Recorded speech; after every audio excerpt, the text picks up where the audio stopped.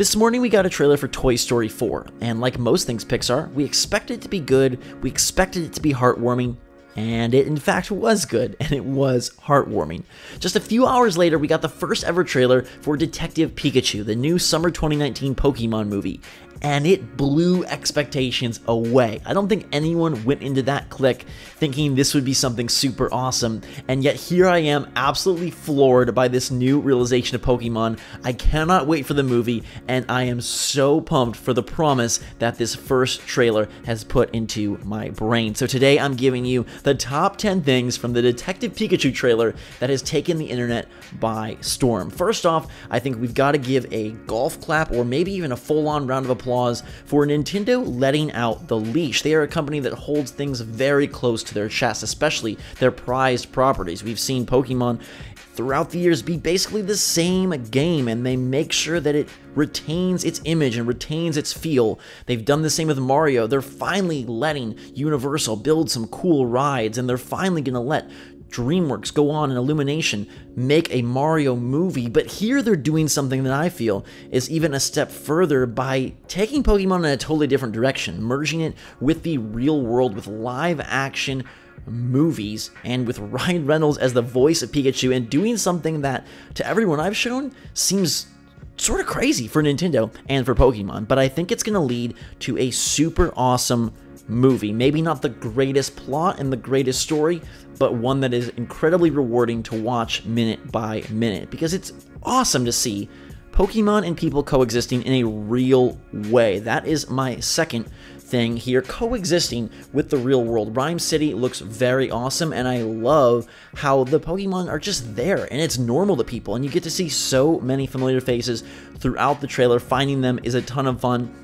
And throughout the movie, I'm sure we'll learn just how they integrate into the world in a way that the cartoon has conveyed and the movies have conveyed. But here, it to me just seems so much more realistic. I mean, obviously, just look at the way this film looks, but also will provide us with okay, what happens, you know, when you do have these giant creatures walking around the city? Maybe it'll tackle some more real world issues and some things that are more relatable uh, to us older Pokemon fans as opposed to the cartoon chronicling Ash's 10 year old adventures throughout the different regions. Number three is the attention to detail because within this city, within this place where Pokemon and humans coexist, they have poured attention into every single detail. You've got shops, you've got signs, you've got posters, you've got billboards.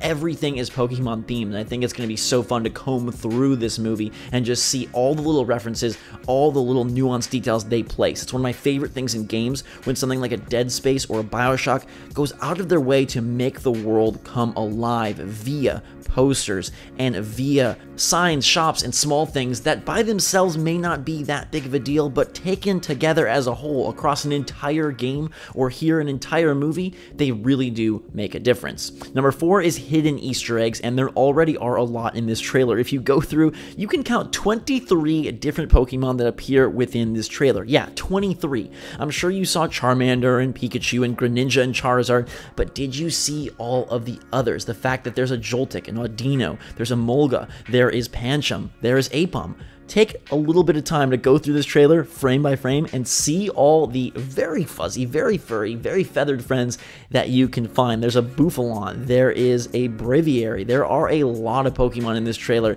and I wonder how many they can push into the final product. I really feel this is a chance to go all out and give us maybe hundreds because in a world like this where Pokemon are so clearly and heavily integrated into modern society and into daily life, they've got to be everywhere, right? They're flying through the skies, they're walking through the streets, they're in the markets, they're sitting on top of buildings, they're fighting, they're everywhere, and I cannot wait to see just how many Pokemon they put into Detective Pikachu. Number 5 piggybacks off of number 4, and that's the promise of more awesome looking Pokemon and getting to see your favorite realized in this almost puppet-like Jim Henson style. It was super cool to see Mr. Mime's potatoey squishy head and Psyduck's feathered body, Greninja looking all sleek as he flew through the air. But what about Tangela? And what about Gastly, Drowzee, Jynx, Gyarados? And that's just the original 150. What will some of the crazier Pokemon look like? How super cute will Eevee and Espeon be?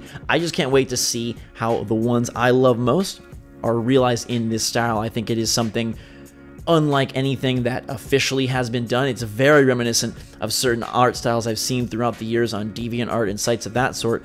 But here, it's going to be so awesome as trailers and posters continue to come out to see, holy cow, that is how they decided to do this specific Pokemon.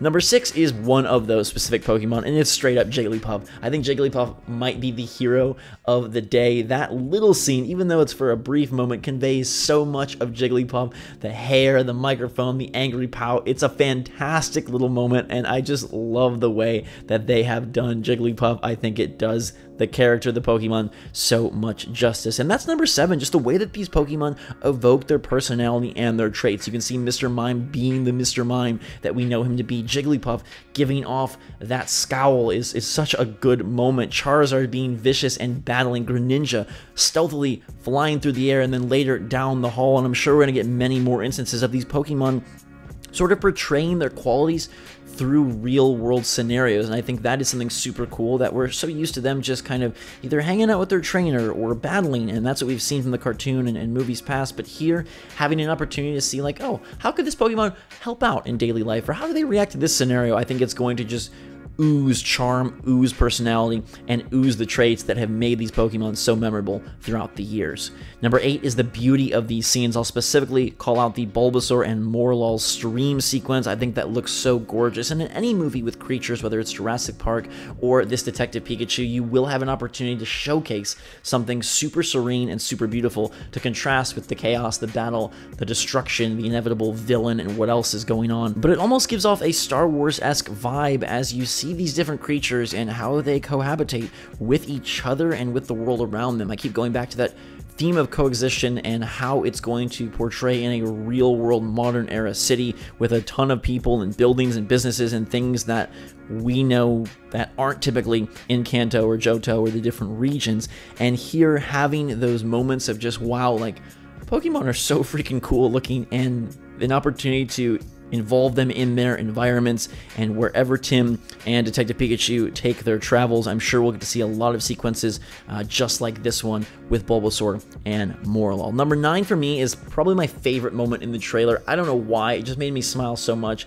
It's the Pika Pika scene where Tim and Detective Pikachu are talking, and Detective Pikachu wants to prove that nobody else can hear him or understand him, and Tim is like, hey, can you, you know what he's saying? Does it make sense? And the girl's like, yeah, he's just doing his call, and I, I thought it was just such a great moment that one evoked how it would be to run into these Pokemon, and two, brought up this really interesting idea that, man, it's got to be audio overload to live in this world where these Pokemon are just doing their cries, their calls, probably pretty frequently, and you just get so accustomed to hearing them, but it also is probably the truest note for longtime fans to hear Pikachu and that Pika Pika, I think, just brings you way back. It was a nostalgia dripping moment for me, uh, and I cannot wait to see more of those throughout the film. But it, it's just such a cute one. For some reason, every time I see the trailer, it makes me smile tremendously. So I felt it deserved its own place on this list. Number 10, the final one, and it's a big one, is the battles. The ones that we see hinted at, and the ones that we know are coming. Battles are obviously a massive part of Pokemon, and they look to be a massive part of Ryme City in this universe. We see countless posters referencing different conflicts between different Pokemon, some very interesting ones. Some are done up movie poster style, some are done up fight poster style, and we even have just some straight up Pokemon posters showing two Pokemon going head to head. And then we see Charizard facing off against Pikachu, a very classic fight, and I'm sure there'll be plenty of others, both staged and then just within the world themselves. When the Greninja are coming down the hall, what are they coming to fight? Is it another Pokemon or is it the environment itself? And will there be Pokemon on people combat? Who is the villain and how will this take shape? Will there be some ultimate final Pokemon League style battle. We do get reference that Tim was kind of a failed Pokemon trainer. Will this be a chance for him to do battle in the way we know it? Or will there be some Mega Avenger style battle where a ton of Pokemon are just either fighting other Pokemon or some unknown force uh, that we have yet to uncover in the plot of this Detective Pikachu film. I think just in general, the battles are going to be epic, and from the few frames we got of Charizard versus Pikachu, it looks like they're capturing it super, super well. I think in general, they are capturing the essence of Pokemon so well. I've said time and time again that the Let's Go games coming out on Friday are the best video game realization of the Pokemon world. They help fulfill the trainer dream better than any game before just because of how vibrant and how lifelike that world is. And here we get something that has a totally different style. A few people have said it's kind of creepy and, and maybe even a little spooky to see them exist in this fuzzy, feathered, furry fashion, but I really love it. I think it is a brilliant twist. I'm so glad that Nintendo allowed and wanted and made this happen. And now I just want to see more of it. I hope that the movie doesn't get in the way of itself. I hope that the plot, which again probably won't be anything Academy Award worthy, but as long as it's competent, I think that the flair can carry this movie quite far. I personally cannot wait for May 10. This has climbed to the top of my movie charts. Crazy moment because if you had said that, hey, today a trailer for Toy Story 4 and Detective Pikachu would come out, I'd say I'd be way more excited for Toy Story 4. And Detective Pikachu would probably be something that I'd, after seeing a minute of footage, cross off my film list. But instead, I am ridiculously pumped for Detective Pikachu. I'll still see Toy Story 4 as well, but I'm more into this, and I cannot wait to hear your take in the comments down below. What were your favorite moments from the trailer? What are you excited for? And which of these 10 do you think is the coolest part of Detective Pikachu thus far? Love to hear from you down in the comments. In the meantime, though, everybody, thanks so much for watching. Fantastic day. I'll be covering the Let's Go games later this week, so stay tuned for that. Right now, though, drink some hot chocolate, and until next time, we will see you all later.